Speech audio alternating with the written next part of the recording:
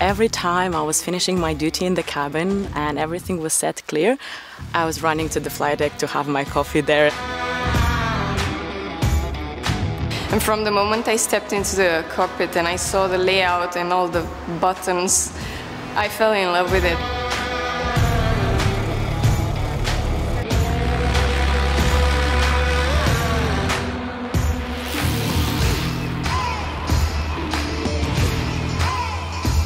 The Cabin Crew to Captain program is a bespoke program designed for Wizz Air cabin crew who are wishing to embark upon a new adventure in their career.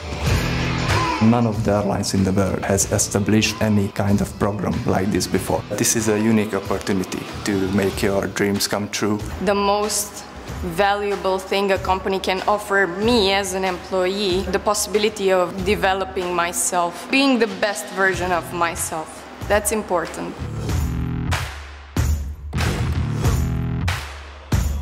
You get the opportunity to work and study in the same time. They really have very well maintained aircraft, big classroom, extraordinary people, all the material which you need.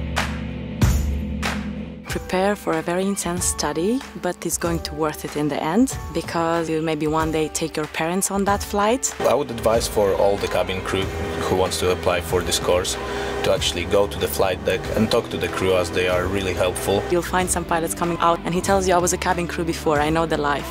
And you feel like you can do it as well. The cabin crew have the culture, the talent to join the flight deck community and we welcome them with open arms. We are all here to follow our dream, to follow our passion. If you want to become a pilot, this is the time to go for it.